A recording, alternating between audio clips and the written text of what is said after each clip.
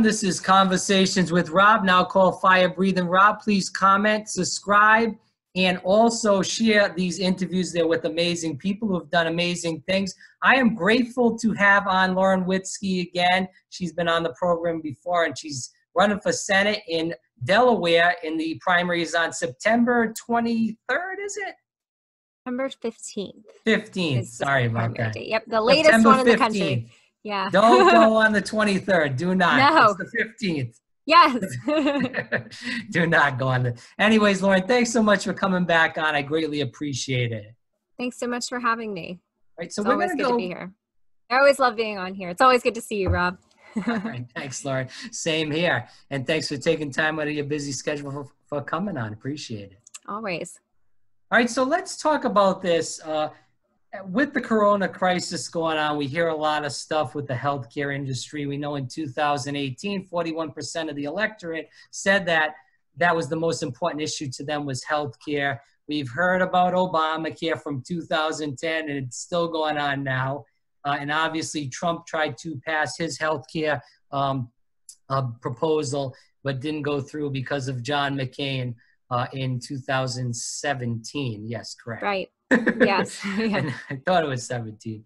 Uh, so anyway, so we're going to move on and talk about that. So with the crisis going on, Lauren, I hear a lot of people saying and making the case for Medicare for all. We see all these countries all over the world uh, have Medicare for all, where if you're a citizen, you know, every country has a different aspect. Canada has some private insurance. Uh, and then obviously all these other countries have uh, different insurance plans. Um, but Oz, you know, we do have the best doctors and the best healthcare system.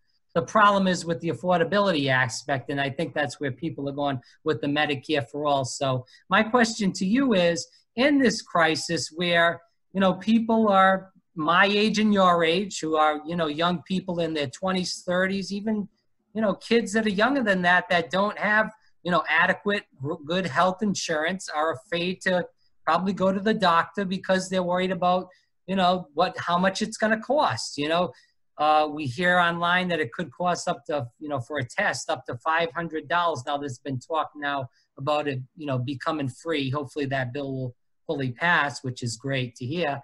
Uh, but the question I hear a lot of people talking about is, Lauren, is why does it take this big of a crisis where we see people going over to Canada for insulin? We uh, see senior citizens all over the countries putting, cutting their pills in half. This is a big crisis in our country. It's not a Democrat or Republican issue. Uh, so what do you say to the people that are saying it's time for Medicare for all? It's time that I, you know, use those tax dollars are being used uh, to be, you know, make sure everybody's healthy and is able to go and see a doctor. Right. Okay. So, um, yes, healthcare, healthcare is one of the biggest issues, especially when I'm talking to voters, um, mm-hmm. especially people our age, they can't afford it. Mm-hmm. Um, it's unaffordable right now. And as a result, we're not having babies. And that is a huge thing. That's a huge part of my platform is, um, increasing our birth rate. Uh, so there are, you know, we have the ACA. President Obama, when he was president, he wanted to be known as the healthcare president. So he launched Obamacare and the ACA, and it was just, it was rushed, it was not complete, and it's as a result, it's a catastrophe. It's unaffordable, it's unaccessible. Um, we only have one healthcare provider, uh, one uh, insurance provider in the state of Delaware, mm-hmm. and it's just a, they've created the pharmaceutical companies and these health insurance companies have created a racket uh, where it's just we are it's unaccessible. So I understand why this call for Medicare for all is such a big thing. I understand why people are rallying around Bernie because he's offering healthcare and Medicare for all. Um, the problem with Bernie is that it comes with a package deal of socialism. Um, mm-hmm. it's just, it, and we can't have socialism. Uh, there is no Medicare for all without socialism with Bernie Sanders. Uh, however, I do, I mean, I'm not opposed to Medicare for all if we had a way to pay for it. Um, also, the problem with also with Medicare for all is that people, senior citizens who currently um, are on Medicare, uh, they will lose their benefits, as in they will lose the um, installations uh, for the um, their medical equipment that they get with their senior citizen um, accessible healthcare, and then they also will lose like shuttle services and stuff like that. Um, so it's going to be it's something that healthcare needs to be addressed. People, politicians need to start talking about it. They have to start talking about it because they're losing the younger generation because it's just an unachievable goal for us and we need healthcare especially if we want to get married have children and raise families um, so it's certainly something that needs to be um, you know, we do have the Affordable Care Act. We could work with that and build on that. Um, I would like to bring back free market healthcare. I think that it should be more competitive. I'd like to see mm-hmm. um, us be able to purchase insurance just like we would car insurance or, you know, um, picking a plan online. Uh, that would make it competitive. That would give us options. We shouldn't just be limited to certain options. I think that we have a right to uh, have a free market of healthcare mm-hmm. options for us to purchase from. I do agree with you on Obamacare. I think it was a giveaway to the health insurance industry. Uh, you know, Obamacare was a heritage uh, action plan. That was uh, brought up by Mitt Romney in Massachusetts. He passed it in Massachusetts. So uh, I do agree with you with President Obama saying he was so great on health care. We could have just put Mitt Romney in and did pretty much the same thing. Uh, right. So, so I mean, uh, yeah, I mean, so I don't understand what the big difference is. Um, but as far as uh, the Medicare for all, we need to figure out how to uh, some way get something like that done because, as you spoke about, it is a disaster with young people, uh, and I worry about how you know what happens to them when they get older. Uh, we also look at stuff in Medicare too that's not covered for senior citizens, such as dental insurance, uh, hearing aids, and stuff like that. That's not covered. We need to get that covered also uh, for senior citizens. Um, right. But, yeah. Yeah. So that needs to get sorted out. But Lauren, what would you say in the last question on Medicare for all? Uh, when we hear people's like senior citizens say, "I love my Medicare," uh, and then you got somebody that's our age say, "Well, why can't we have it also?" Right. Um, you know I, I don't have the answer to that question because i mm-hmm. think that the healthcare system is so currently flawed uh, that i don't have an answer to tell them this is why you don't deserve healthcare or this is why you reasonably mm-hmm. cannot afford it and uh, you have to wait till you're 65 to get adequate healthcare no i don't i don't have the answer for that however um, you know i think that there is a lot of misspending where you were talking earlier about the regime change wars we've spent trillions and trillions yeah. of dollars you know we may be able to actually afford reasonable healthcare access for the younger generation if we would stop with these wars which is a war we don't want. Like we never signed up for this.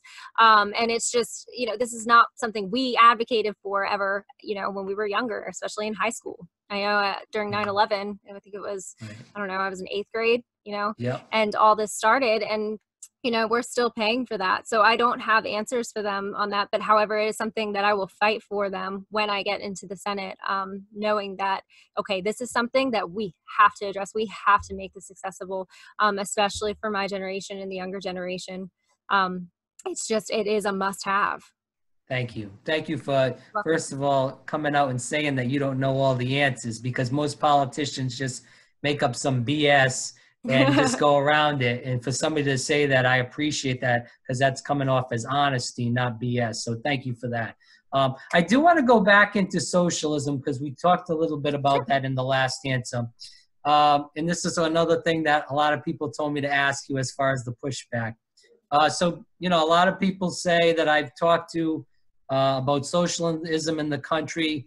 Uh, I think where Bernie Sanders made the biggest mistake is coming out and saying democratic socialist because people do, as you said, think about uh, Cuba and uh, other countries that have socialist regimes. Uh, people, a lot of people confuse socialism with communism, which is in China.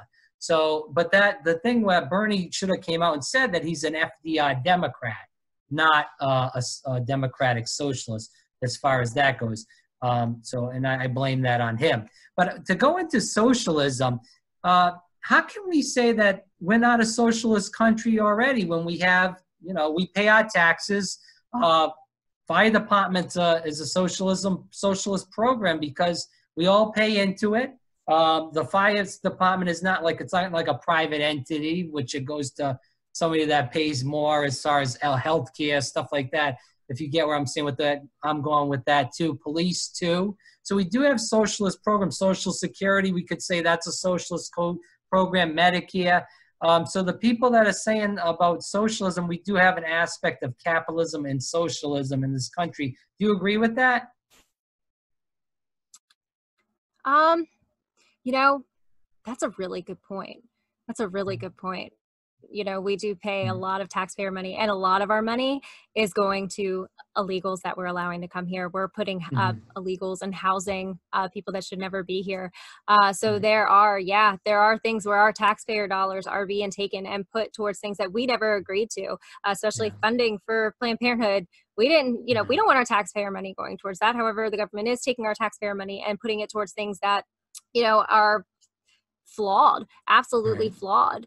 Uh, so you know, I, yeah, I'm a, yeah a free market capitalist, you know, all that. But mm. I also, you know, I you know I, I can't disagree you know there are aspects to our economy that are flawed i have to agree with you uh, let me let me just drive this home with this. Um, we hear Mitt Romney and Tulsi Gabbard, who I actually like because I, you know, I believe she's against, as we talked about, the, the militarism and the wars and getting out of these places. President Trump's even uh, praised Tulsi Gabbard quite a few times. Even when President Trump uh, took office, he brought her in there to talk about uh, military issues, and she's a, a right. veteran and uh, still serving, I should say. Um, so she and Andrew Yangs talked about this too, who is a sellout right now to Joe Biden, but that's besides the point.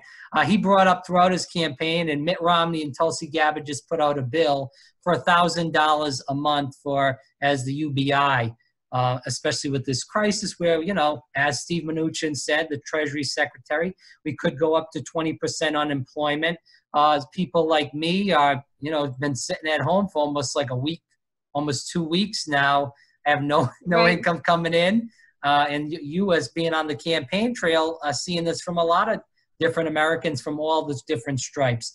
Um, so, would you agree with Mitt Romney and also Tulsi Gabbard if, if you get to the Senate uh, to pass a bill like that? You know, in this type of crisis for a thousand dollars a month, so people that are like me and people, other Delawareans that are out of work, whether they work in the service industry or they work in an office in general, uh, they can kind of at least have some sort of income coming in to make ends meet. Yeah, um, yeah. So I definitely would support that. I think that um, we have to support specifically our American workers right now first. Um, this money doesn't need to be going to these big corporate globalist Um, uh, companies. Right now the american worker is suffering and we need to take care of them. However it is also important that we get you back to work too because yes. um, we have to keep these businesses open. Yes so we have jobs to go back to. I never thought i'd live in a world where i can't even go out and get a waitressing job right now to make ends meet. You know it's just not work you know who saw this coming? Nobody saw this coming. So it's really important to keep these businesses open and get people back to work um, when people aren't working you know it gives you a sense of pride too when you have a hard day's work um, it's not just collecting a check you know right now yeah it's mm-hmm. survivable you're gonna have to yeah. Um, and I support that entirely.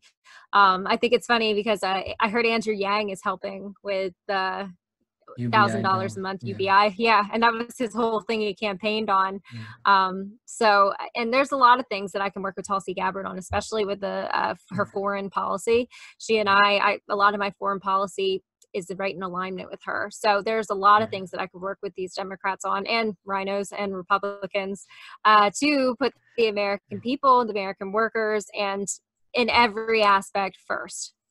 So the Tea Party ran on this in 2009, 2010, and you know there's still some Tea Partyers in Congress about uh, we, as we talked about with the socialism and you know bailing out country, uh, bailing out countries, bailing out companies, uh, as what happened with the uh, automobile industry in 2009, 2010. Joe Biden was involved in that, as was Barack Obama.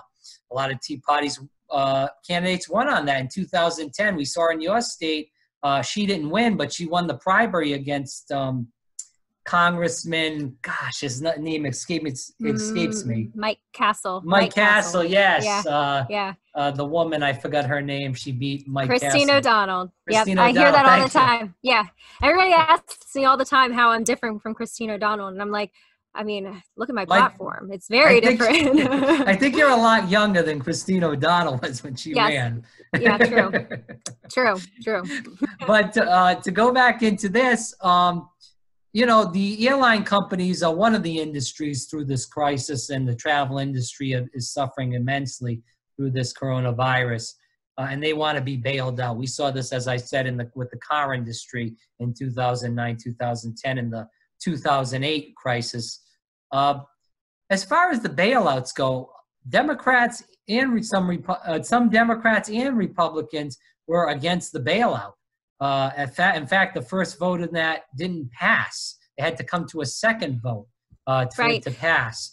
Uh, don't you think bailing out these co- uh, companies, such as the airline industry, is a socialist program? Because we're bailing them out, as the Tea Party yeah, said. I, in, I do not.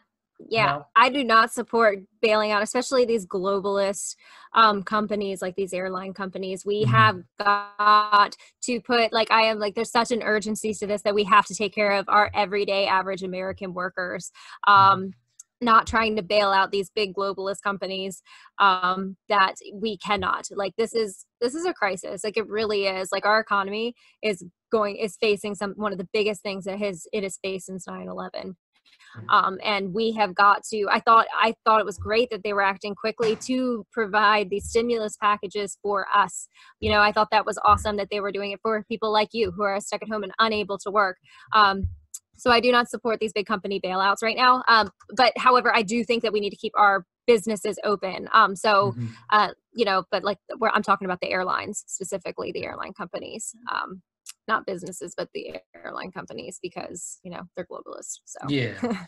Well, and and ju- just to hop on what you're saying and to end this subject, uh, I was looking at uh, the Economist, and it says that the airline companies uh, they use 90% of their cash on the buybacks uh, over the last 10 years. So they didn't put that money, as you said, what you would do, it back to the American worker. They were just buying back their own stock and making money off that. Um, So yeah, and and that's a problem in this country as far as you know, you know, making money and you know they could be raising wages for regular working people, but instead they're just putting their money back in.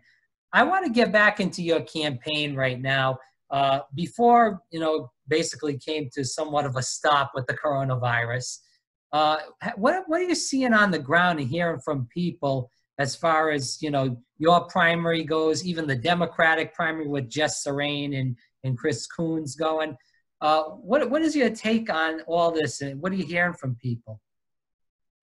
um, so I think Jess Scarane's going to beat Chris Coons. I think she's going to knock him out. I'm going to Really? be How honest. so? because she is she has that AOC effect. She's she's out there knocking doors. Um, she's out there talking to the people. Oh, it's freezing. Sorry, can you hear me? No, I got you. We're good. Okay, okay. So um, so she is, you know, she's kind of a she's very similar to Bernie Sanders. And what makes Bernie Sanders appealing? Medicare for all. Um, Mhm. you know, health accessible health care for young people and student loan debt you know that is something that she's addressing real issues that people are struggling struggling with and she's talking about them and i think that is why she is going to beat chris coons in the primary um you know so there are things that you know we kind of overlap where we went we're populists we both are um Yeah. but that that's what separates us from being the establishment and we care about the people you know you can't deny the fact that it seems that she actually cares. Chris Coons is inaccessible. He has spent the last three years trying to impeach our president instead of trying to work, Yeah. whether you like him or not. You could have worked with him to help us. You know, we have a huge opioid crisis. Our GDP was zero, and it's progressively going to get worse. But he's just spent all his time finding a CNN camera to get in front of Yeah. and trying to impeach our president. And it's like, come on, man, do your job. So I think that is definitely going to have an, a serious impact on his campaign this year. People know that. People, if you look at his Facebook page, people are commenting. They're like, dude, go to work. Like, what did we hire? What did we vote for you for? like, what are you doing? So I think people are starting to take notice. Yeah, for sure. So I think that he's going to, I don't think he's going to make it through his primary. And um, I think it's going to be a really interesting and very good race this year. in Delaware. Well, I hope you're right because it would be nice to see two women that are intelligent go at each other. I mean, Chris Coons is as dull as a box of rocks. And second of all, like you said, he always goes on. he always goes on CNN and he just uh, repeats the Democratic established talking points. The problem with the Democratic establishment and even the Republican establishment is they don't understand that the people don't want establishment politics anymore. Right. They want they want regular working people that are going to go out and not take money from big corporations and go out there and fight for them, whether they're on the conservative or the um, progressive side. So uh, that's the problem with that. So I hope it does get to you know both of you guys because I interviewed Jess too, and she seemed what like you said, whether you would like her politics or not, she's sincere and she Yeah. is really truthful. Whereas you know Chris Coons, I've never interviewed him, and I doubt that he would ever come on something like this. no. You know, he's but I've seen him Yeah. on TV and he's dull as a box of rocks. So enough said with that. And and you are very truthful and caring and you know what's going on in, in Delaware and also in America. So like I said, we need people like you and Jess um, in in big positions. I want to get to um, as far as the electorate goes. Uh, do you feel like the coronavirus is hurting, you know, campaigns that are upstart like yours and Jess Scarane? You guys are, you know, maybe you're on fire, knocking on doors, going out all the time, but you know, for people that are trying to beat establishment candidates, it's not maybe not so much your, but even it does affect you because if you know, Yeah. getting to the general election, you have to go up against him, and this is time wasted right now where you can't you know effectively get out your message as much as you want to. So how do you feel like you know you're going to kind of do that Would, are you doing like digital town halls or how's that how's that working Right. So so we have had to shift our entire campaign strategy. The good thing about us young people is that we're pretty good with the internet. So that is where we will be able to pull forward. I think that if we use utilize the internet correctly, I mean social media that's what it's for. People aren't working, people are home and they're looking for content to watch. So let's give it to them. Let's give them conversations that need to be had. Let's have Right. these talks. Um and uh, they're trying to push like the whole globalist Netflix. Oh, get binge watch that trash on Netflix. No, like let's get in front of these people, and this is opportunities opportunity for us to pull ahead in this. Um, so I will be fully taking advantage of that, and you know I want to be accessible to the, my voters. I want to be accessible to my constituents, and that is something that Chris Coons um, progressively lacks. He like he just is inaccessible to the people. Um, we can't ask him questions. There's no concerns. They don't care. You call their office. I, they were really rude to somebody that called in the office about the S386 bill that Chris Coons co-sponsored. Um, so it's just, you know, that's what is going to set us apart is accessibility and uh, Mhm. going fully online for now. Yes, door knocking hurts, like not being able to door knock because voter contact wins elections. But this is 2020 politics, so we're just going to have to shake it up. It's going to be one Mhm. heck of a year, Rob. It really is. i hope so I, I'm, Yeah. I'm you know uh, and this goes on to uh, we keep talking about establishment politics lauren witzke laurenwitzke.com w-i-t-z-k-e yeah. dot com all right Yeah, the sign well, behind you all right Yeah. Nice Yeah. advertisement for you uh, here on Fire Breathing Rob. Uh, to keep going into this establishment stuff, we, we're seeing this right now in the Democratic Party with Joe Biden um, and uh, Bernie Sanders. Uh, do you worry about that running against uh, an establishment like Chris Coons is going to be on the news, getting all that media time? We're seeing that with Joe Biden. He's the candidate they want to run against Trump and we're going to go into that in just a second of how what a disaster that's going to be for the Democrats. Um, but as far as you getting not, are you getting? You feel like you're getting enough time and publicity right now from the mainstream media in Delaware, Philadelphia, that area? Um, so I'm trying to get on every conservative network I can. Um, Mhm. so I'm also going to be trying to seek out national options as well. Um, I will be fighting really hard for airtime everywhere I can. I'll be scrapping for it. Uh, Yeah. So yeah, that's going to be that's going to make or break me is access to um, media right now Mhm. for sure. Uh, however, I'll be putting out my own content as well. Uh, and um, yeah, it's just it's nobody saw this coming. We really Yeah. didn't. This kind of came out of nowhere. China lied about it, didn't tell us exactly what was going on. So here we are on basically lockdown here in in our homes. So it's gonna have take some adjustments, but um, you know, I'm a fighter, so I'll keep coming back, keep coming back until it works. Do you, do you think that to move into the 2020 election part of this, Uh, do you think that Joe Biden is got a lock on Delaware? Obviously, the hometown senator, but President Trump, you know, is uh, is probably going to win Sussex County pretty big. Uh, I don't know about the other areas. You're on the ground there. You would know what's going on better than I would. Uh, so, what do you think about Trump's chances of winning, you know, a very Democrat state, blue state as such as Delaware? Well, um, the good thing about Trump is that he's a populist as well. Um, he mm-hmm. runs on a socially conservative, pro worker platform. Uh, the workers here, you know, I've talked to a lot of Democrats, especially ones in New Castle County. And they're like, you know, I'm a registered Democrat, but I will never vote Democrat again, especially like after the impeachment hearings and stuff like that. Mm-hmm. That is something we need to remind these people that these Democrats tried to impeach our president, that we fairly elected him into office. We chose him and the Democrats spent all their time the last three years trying to remove him from office mm-hmm. as the economy was getting better. Um, this whole coronavirus is going to affect the economy.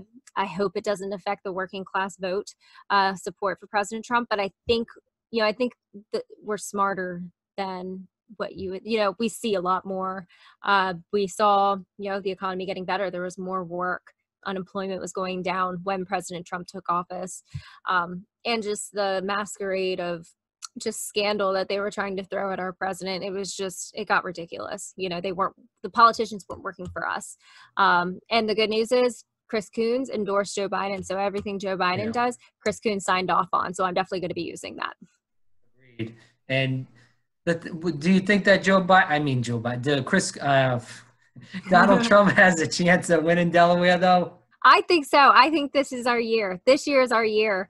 Um, for sure, especially if mm-hmm. Bernie is the nominee. And that well, would be very interesting. Well, well let me t- say what, and, and I want you to go off on this with, uh, we, you know, pretty much the Democratic establishment has really stabbed Bernie in the heart. Um, so has Elizabeth Warren. So it looks like Joe Biden pretty much has a lock on the nominee. Uh, and this is what I want to ask you if you believe and agree with this. I believe Joe Biden Bernie's a better nominee for the Democrats against Trump. But let me tell you why and see if you agree with this. Joe Biden is fumbling, stumbling over words. He can say that he has a stutter, but we all know that he's something's wrong yeah. there. I'm not trying to be mean or disrespectful because I don't want to call somebody that's elderly. No, it's true.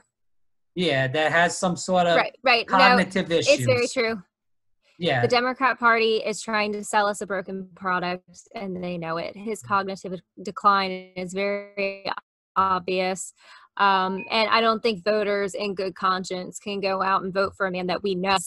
Oh no. Okay there you are. Can you hear me? Yeah i got you. Okay. That we cannot go out and vote for they can voters cannot go out and vote for a man that they know is borderline yeah. cognitive just you know mm. he's incapacitated. It is very obvious um he did really well during his debate the other day against bernie. I'm not mm. really sure if they gave him some coffee and like you know also this coronavirus is going to be really good for him. Yeah medication you know